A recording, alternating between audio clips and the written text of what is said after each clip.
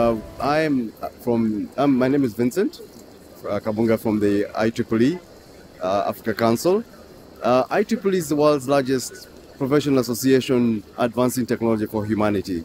And what we are really looking to do in Africa over, and we've been doing over the last 10 years is helping to grow the local capacity of engineers that are going to be necessary for us to build those that crop of engineers and scientists that will help us to build the solutions that we're going to need to solve Africa's problems. So, in your opinion, what is the biggest challenge that are facing entrepreneurs and startups?